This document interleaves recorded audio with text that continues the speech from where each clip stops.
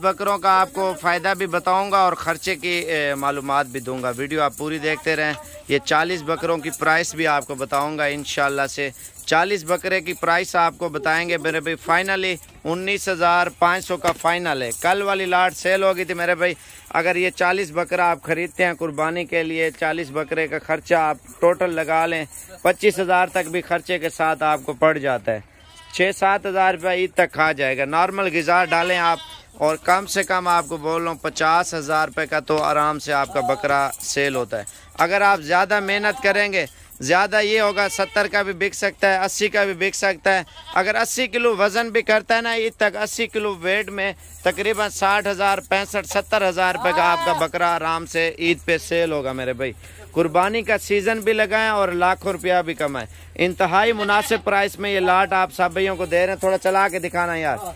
ये finally price मैंने उन्नीस पाँच सौ का फिक्स रेट रखा हुआ, पहले वाली लाट लगाई थी, वो भी अल्हम्दुलिल्लाह सेल हो गई है।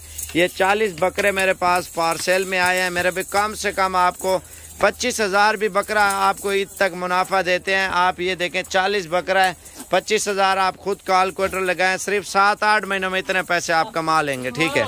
अगर आप लंबा लॉन्ग टर्म करना चाहते हैं, आप ज़्यादा डालें, पचास रखें, सौ रखें, दो सौ बकरा रखें चार सौ बकरा रखें।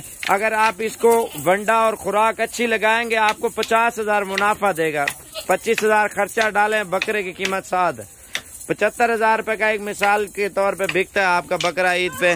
तो पचास पचास हज़ार रुपया आपको मुनाफा देगा एक बकरा। अगर चालीस बकरा तो बीस लाख रुपया आपको मुनाफा देगा। सिर्फ़ आठ से नौ महीने आपको रखना होगा। आप दो बकरे रखें, आपको लाख रुपया, अस्सी, नब्बे हज़ार, लाख तो आराम से इनशाला बच जाएगा। आप बीस बकरे रखें, बीस बकरों का भी आप खुद आइडिया लगा लें, सात आठ लाख रुपया तो आराम से इनशाला बच जाएगा। अगर आप 40 बकरा रखते हैं तो 40 बकरा ज़्यादा नहीं 20 चलो 20 लाख से कम कर ले 18 लाख कर ले 15 लाख कर ले, खर्चे वगैरह सारे निकाल के। जितना आप ज़्यादा मेहनत करेंगे, आप जितना ज़्यादा महँगे करके बकरे खरीदेंगे, उसमें कोई फ़ायदा नहीं है मेरे भाई। आप जितनी कम रेंज करेंगे, उतना ज़्यादा फ़ायदा आप मंडी में ये चीज़ लेने जाए, पच्चीस अट्ठाईस से कम कोई नहीं देगा मेरे भाई। फाइनल उन्नीस पाँच सौ के हिसाब से लाट दे रहा हूँ। कल तक टाइम है, अगर आपको ज़रूरत है इनशाला चालीस पीस है आप लोगों का फ़ायदा है। इसमें कश्मीरी नस्ल है नागरा नस्ल है बीतल है अबलक है फौजी कलर है और लाल बीतल ब्लैक बीतल टोटल नस्लें हैं माशाल्लाह से बकरों की मेरे भाई। इंतहाई मुनासिब प्राइस में साबिर गोड फॉर्म की तरफ़ से रेवड़ मिल रहा है। कोशिश करेंगे जल्दी रबता करेंगे तो मिल जाएँगे। मेरे भाई आप ये सोच रहे होंगे इसमें इतना मुनाफा है तो हम ले लें। भाई बकरे मिलते ही कम है। ये कभी कभार हम वीडियो लगाते हैं महीने में, डेढ़ महीने में, क्योंकि इतने हम जमा करते हैं एक एक दो दो करके। ये उस बंदे का फ़ायदा होता है जो एक साथ लाट आप खरीदते हैं, लाट आप ईद पे तैयार करके बेचते हैं, आपको एक साथ मुनाफा मिल जाता है। आप कोई भी कारोबार करते हैं, उसको भी देखें, उसमें इतना फ़ायदा नहीं होगा जितना इसमें हाक लाल का कारोबार है। सबसे अच्छा और सबसे ज़्यादा फ़ायदेमंद, माशाल्लाह, ये कारोबार है, जानवरों का मेरे भाई।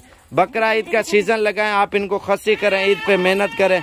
एक दो मजदूर रख लें जो मेहनत करें। इनमें एक मजदूर भी काफ़ी है, चालीस बकरे में मेरे भाई।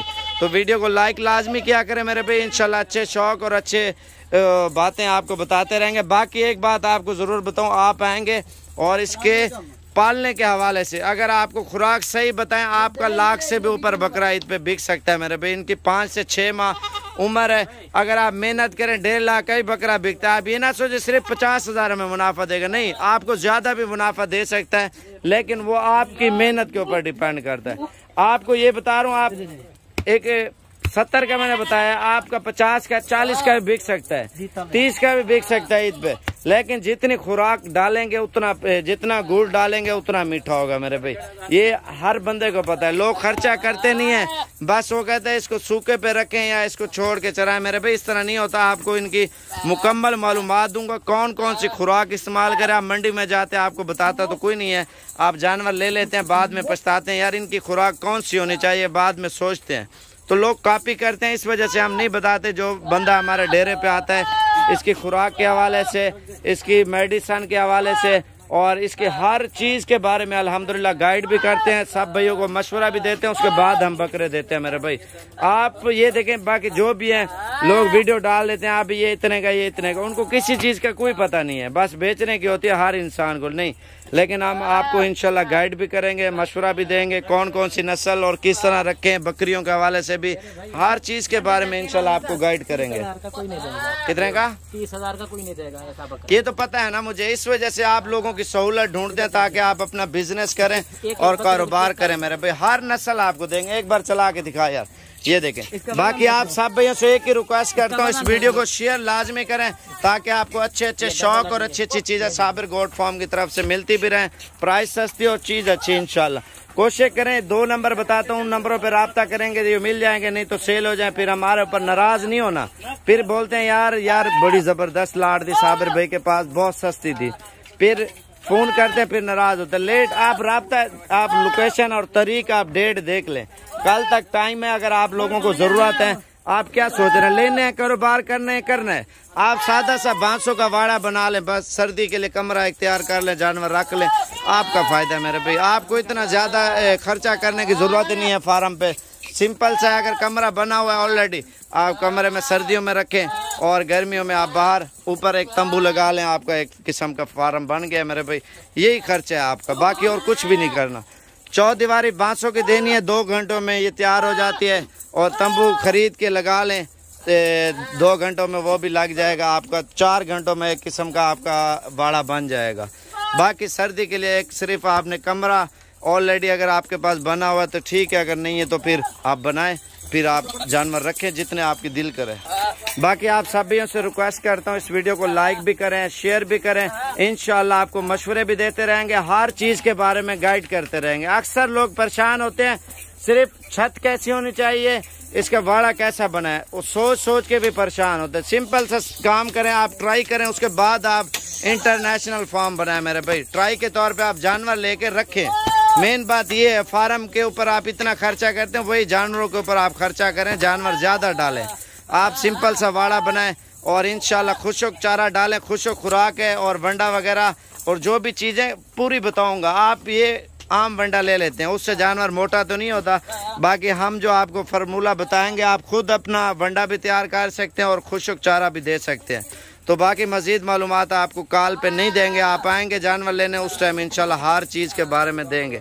अगर आप कार को लाट मंगवाना चाहते हो, रसीद आपको बना देंगे, खुराक के हवाले से वैक्सीनेशन के हवाले से, हर चीज़ के हवाले से इंशाल्लाह दे देंगे। और मेरा नंबर है ज़ीरो तीन सौ इकतालीस, ज़ीरो चौंतीस, उन्नीस पचानवे और दूसरा मेरा नंबर है ज़ीरो तीन सौ पैंतीस, सैंतालीस छियालीस, चार सौ सतासी लोकेशन डेरा गाजी खान गूगल पे भी सर्च करें साबर गोड फॉर्म लोकेशन आ जाएगी। अगर नहीं तो आप किसी भी शहर से आना चाहते राजनपुर रोड पे छः किलोमीटर आगे जाके हमारा गोड फॉर्म आता है। अगर आप लोकल आना चाहते हैं, बस वाले को, रिक्शे वाले को कहें, साबिर गोड फॉर्म पे जाना है, वो अड्डे पूरे पे आप, अल्हम्दुलिल्लाह, हमें सारे जानते हैं, वो आपको फार्म पे ऊपर ले आएँगे। राजनपुर रोड पे छः किलोमीटर आगे हमारा फार्म आता है। वीडियो लाइक और शेयर लाजमी करें मेरे भाई।